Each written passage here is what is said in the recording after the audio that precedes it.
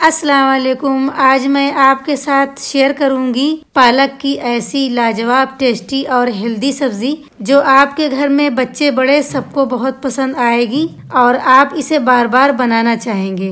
एकदम कम मसालों के साथ बनाई जाती है ये रेसिपी। तो चलिए बनाना शुरू करते हैं। तो लहसुनी पालक बनाने के लिए मैंने यहाँ पे ले लिया है तीन सौ ग्राम पालक। पालक लेने के बाद मैंने इसका डंठल जो था वो निकाल दिया है रिमूव कर दिया है। डंठल निकालने के बाद मैंने इसको चार से पाँच बार धो डाला है और धोने के बाद ड्राई कर लिया है। इधर मैंने पानी ले लिया है और पानी को मैंने बॉयल कर लिया है। बॉयल करने के बाद इसमें मैं डाल दूँगी एक टेबल स्पून शक्कर। शक्कर डालने से क्या होता है कि पालक जब हम बॉईल करेंगे तो पालक का कलर जो है वो बरकरार रहता है ग्रीन ग्रीन रहेगा ब्लैक नहीं होगा। इसमें हम डाल देंगे पालक।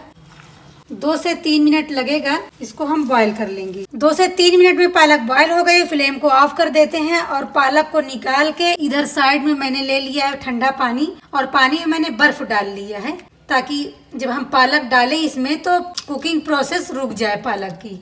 और अब इधर पालक के पीसने के लिए मैंने यहाँ पे ग्राइंडिंग जार ले लिया है और जार में हम डाल देंगे पालक को। पल्स मोड पे इसको पीसना है, दरदरा।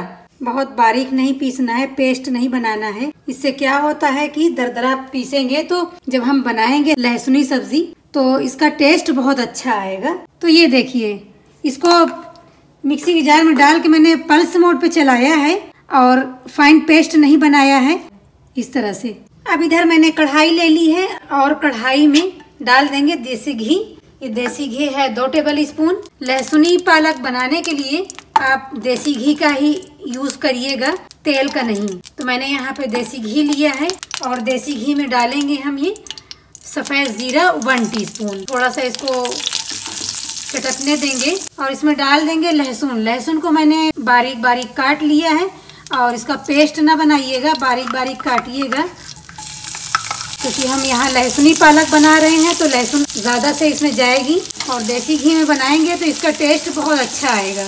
और इसको थोड़ा सा हम गुलाबी होने देंगे, लहसुन को। और इसी के साथ डाल देंगे हम ये। दरमियाने साइज़ का प्याज था तो मैंने बारीक बारीक इसको काट लिया है।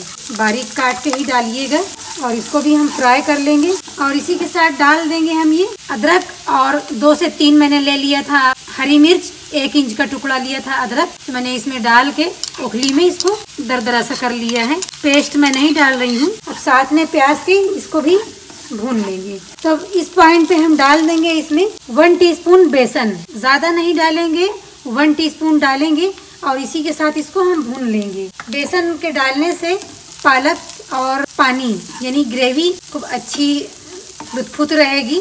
इधर से उधर पालक नहीं होगा अलग अलग न पानी। मैंने यहाँ पे बेसन डाला है, आप मकाई का आटा भी डाल सकते हो।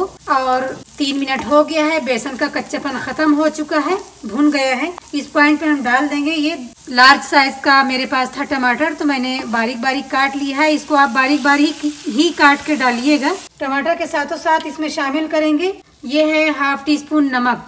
नमक मैंने कम लिया है क्योंकि नेचुरली पालक में नमक होता है तो नमक आप अपने टेस्ट के अकॉर्डिंग डालिएगा। और ये है वन टीस्पून कश्मीरी लाल मिर्च पाउडर, क्योंकि मैंने हरी मिर्च चार से पाँच कूट के डाली थी अदरक के साथ।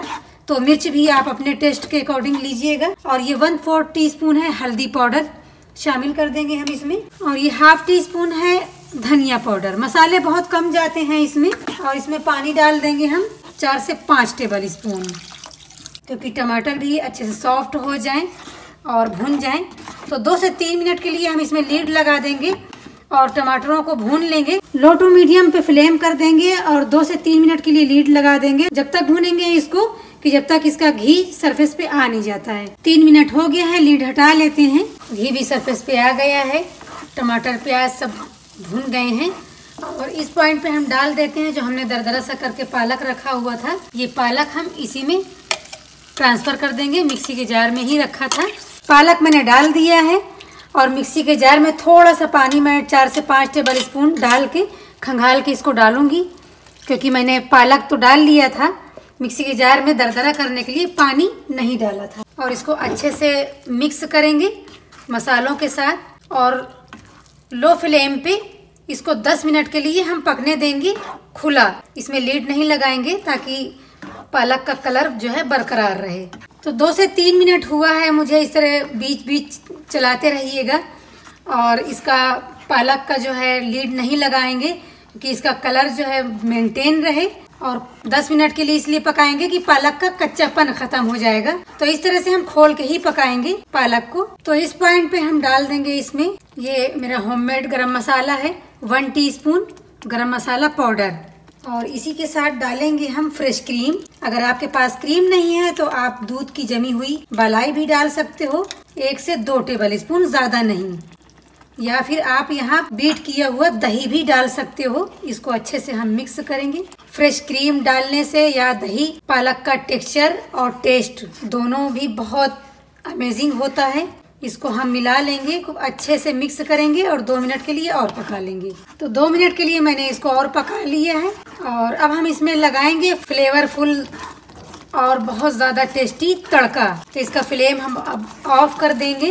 अब इसको हम एक साइड रख देंगे और इधर ले लेंगे दूसरा पैन तड़का लगाने के लिए। और इसमें डालेंगे दो टेबल स्पून भर भर के देसी घी। देसी घी का ही इस्तेमाल करिएगा, तेल का नहीं क्योंकि इससे टेस्ट भी बहुत अच्छा आता है और जायका बढ़ जाता है। घी गरम हो गया है, सबसे पहले डालेंगे हम इसमें हाफ़ टी स्पून सफ़ेद ज़ीरा। इसका भी तड़के में फ्लेवर बहुत अच्छा आता है और इसी के साथ डाल देंगे लहसुन। क्योंकि हम लहसुनी सब्ज़ी बना रहे हैं तो इसमें लहसुन का ज़्यादा यूज़ होता है और इसका फ्लेवर बहुत अच्छा आता है जब हम लहसुन का तड़का लगाते हैं। तो इसको गुलाबी होने देंगे। फ्लेम को मैंने ऑफ़ कर दिया है और डाल देंगे हम कटी हुई ये साबुत लाल मिर्च ताकि जले ना। तो सर्विंग बोल में मैंने सब्ज़ी पहले से निकाल ली थी और इसमें लगा देंगे हम तड़का। तड़का हम पोर कर देंगे इसमें।